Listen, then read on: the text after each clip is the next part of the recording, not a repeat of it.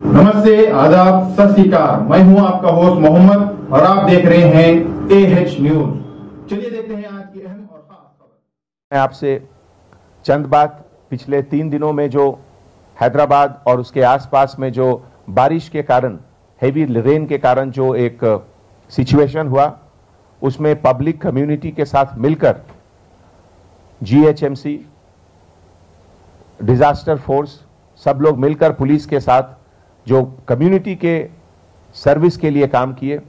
उसके लिए मैं पूरे पुलिस डिपार्टमेंट के ऑफिसर्स का शुक्रिया अदा करना चाहता हूँ। पिछले दो तीन दिनों में ज़्यादा से ज़्यादा ऑफिसर 24 फोर आवर्स से ज़्यादा लगातार काम करते रहे ऑफ़िस में फ़ील्ड में ऑफ़िस से कोऑर्डिनेट करते रहे और पब्लिक को मिनिमम इनकन्वीनियंस हो, इसके लिए मेहनत करते रहे। करीब 200 से ज़्यादा फ़ोन कॉल तो मुझे पब्लिक से आया अभी तक, जिसमें कि हमारे कांस्टेबल ऑफिसर्स के नाम को लेकर लोग बता रहे थे कि उन्होंने बहुत अच्छा काम किया, सेफ्टी एंड सिक्योरिटी के लिए, रेस्क्यू एंड रिलीफ के लिए। खुद अपने गहरे पानी में जाकर लोगों को बचाए, लोगों को ज़्यादा दिक्कत ना हो उसके लिए किए। तो जैसा कि हम हमेशा कहते हैं कि कितना भी बड़ा पुलिस फोर्स हो,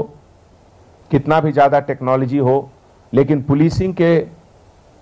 सोल के के पुलिसिंग का जो सोल है, जो आत्मा है, वो है सेंसिटिविटी और ये सेंसिटिविटी हर एक ऑफिसर्स में हैदराबाद सिटी पुलिस के कितना भरा हुआ है, कितना अच्छे तरीके से है, इसका एक बेहतरीन नमूना पिछले तीन दिनों में हमारे सभी ऑफिसर ने पेश किया। इस मौके पे मैं पूरे कम्युनिटी को भी बहुत बहुत धन्यवाद देता हूँ, शुक्रिया अदा करता हूँ। कि ऐसे मुश्किल के टाइम पे उन्होंने सब्र से काम लिया।